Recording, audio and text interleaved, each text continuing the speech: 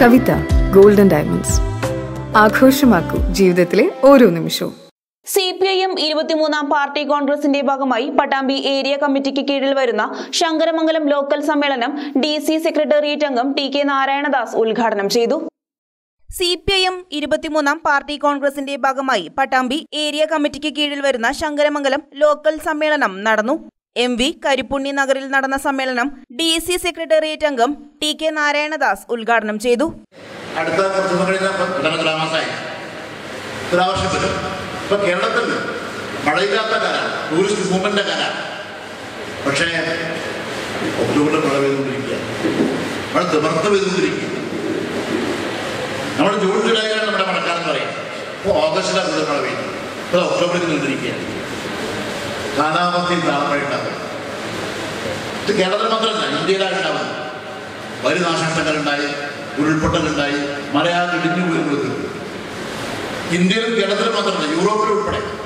യൂറോപ്പിൽ പൊതുവെ അങ്ങനെ തീഷ്ണ കാലാവസ്ഥകൾ ഉണ്ടാവാത്ത ഒരു പ്രദേശമാണ്.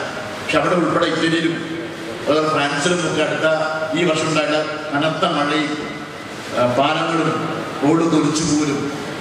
എന്നാൽ ഭീകരമായ കാലാവസ്ഥ തീഷ്ണമായിക്കൊണ്ടിരിക്കുകയാണ്. കാലാവസ്ഥ വളരെ തീവ്രമായി മുന്നോട്ട് പ്രതികരിച്ചുകൊണ്ടിരിക്കുകയാണ്. എന്താണ് ഇതിന്റെ കാരണം? മനുഷ്യന്റെ ഇടപെടലാണ്.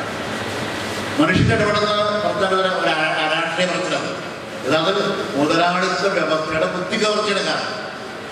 ലാഭത്തിന് വേണ്ടി മറ്റൊന്നിനും പരിഗണിക്കാതെ പ്രകൃതിക്ക് നേരെ നടത്തിക്കൊണ്ടിരിക്കുന്ന നിരന്തരമായ അതിക്രമങ്ങളാണ് ഈ തിരിച്ചടികൾ ശാസ്ത്രം പറയുന്നത് അടുത്ത പത്തോ അമ്പതോ കൊല്ലത്തിനുള്ളിൽ ഒരു മഹാപ്രളയം ലോകത്തെ ബാധിക്കുന്നതാണ് നമ്മുടെ ചൂട് കൂടി- കൂടിക്കൊണ്ടിരിക്കുകയാണ്.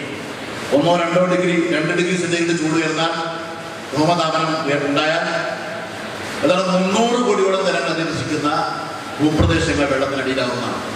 സി പി ചിത്ര ടീച്ചർ പതാക ഉയർത്തി സമ്മേളനത്തിൽ അധ്യക്ഷത വഹിച്ചു.